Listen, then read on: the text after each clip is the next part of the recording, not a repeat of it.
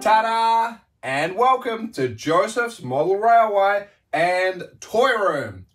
Thank you so much, as always, for joining me. A little bit of housekeeping. You don't need to like, follow, or subscribe. I just put the videos out there where I can and have a holly jolly great time doing so.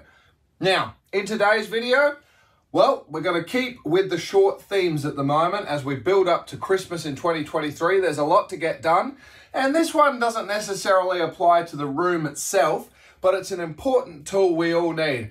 And there's nothing wrong with the tool. I just thought it needs a little bit of a Josef touch added to it, just to make it a bit cooler for my requirements. What are we banging on about? Well, join me today and have a quick look at how you can personalize your equipment and take it up a notch. Why?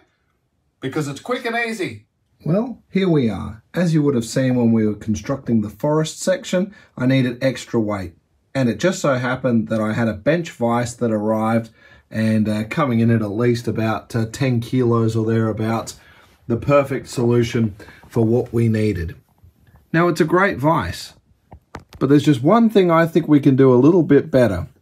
So let's crack it open and get started with it, shall we? Yes, I realise how depressing this scene looks, but rest assured, in a few months we've got to make it all disappear and get the room looking normal again. To which I have a great idea about what we're going to do to temporarily achieve two solutions at once.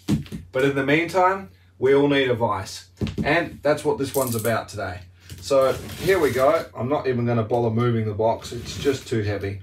But as mentioned, you certainly saw me using it when we were building the forestry section uh, to weight down uh, what we needed to do.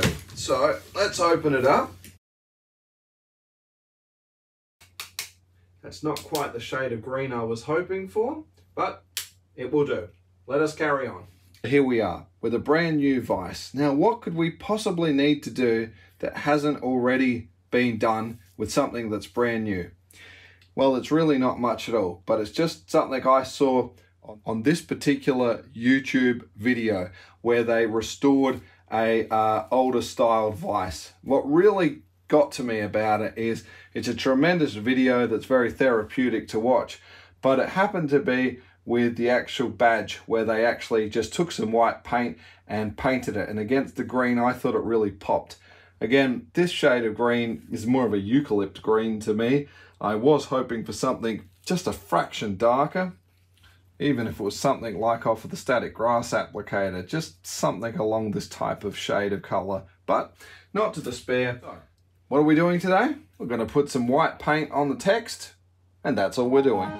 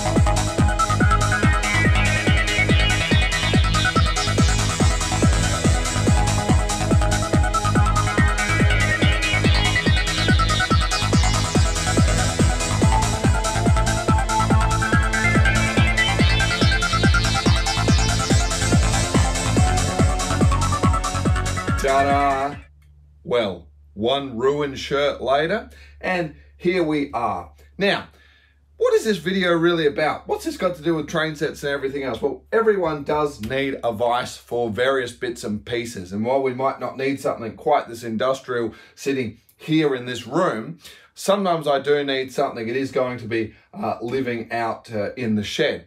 However, the whole idea, what I wanted to share with you was, was a great opportunity just to practice uh, a little bit of finer painting techniques. As you can see, my painting is absolutely hopeless. But from that distance, I think this is a, a great improvement on what it traditionally was. Again, if it was that slightly darker green, I think we would have had a lovely pop of colour there. But it is what it is, and I think it was well worth doing. Um, so great practice with a little bit of paint and trying to keep the hand steady, especially when we're trying to do that uh, ampersand. I'm not really going to bother about doing some sort of a technical review or anything because I really haven't used it. It seems pretty good and uh, I believe I paid just under a $100 for it. I mean, it certainly got the weight. That's got to be 10 or 12 kilos at least there. But uh, a couple things, while we can obviously um, uh, turn it to the side and adjust it accordingly, uh, the reference point, which is zero, there is no way of actually homing it in. There's no markings on it, which I found a little bit surprising. Anyway, I'm sure you'd know what you need to be doing anyway. Uh, and I hope you've enjoyed this video. It needs to go and get bolted down onto the workbench now in the shed. That's pretty much all I've got for you today. So as always, girls and boys, ladies and gentlemen, thank you so much for joining me. And I'll look forward to seeing you in the next one. Stay safe. Toodles.